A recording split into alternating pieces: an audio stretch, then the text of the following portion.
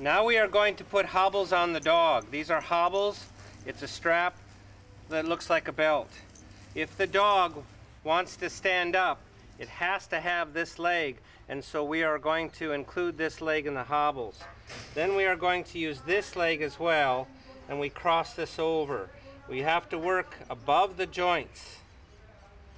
So we have this very short. Make sure this is very short. We go once around the top leg. We go once around just the bottom leg. And then we go around both legs.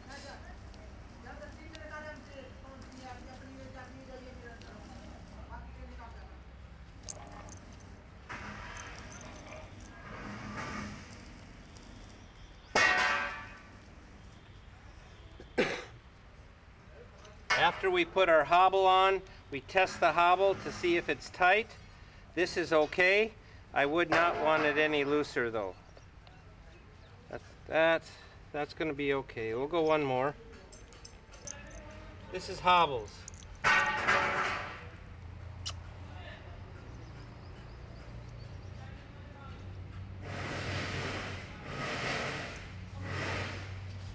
We can add another Okay, and you can step. Put hobbles on the dog, and now we choose to add a head cover.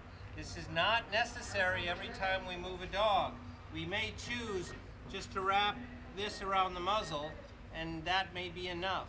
But the head cover keeps the animal quieter and makes the, the transfer much easier.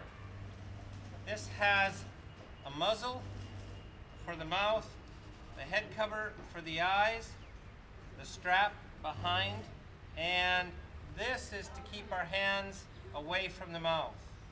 We will put this on the animal by having our partner scruff the dog, and we hold here. We do not hold here because we'll be too close to the mouth. We're going to hold here. And now we can slide this on the dog.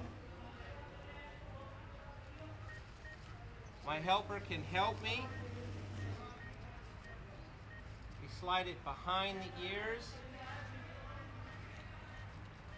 And we tighten this back strap up. This head cover works so well, it, it is almost as if this animal is drugged, the way it relaxes quite well. And now we can transfer the dog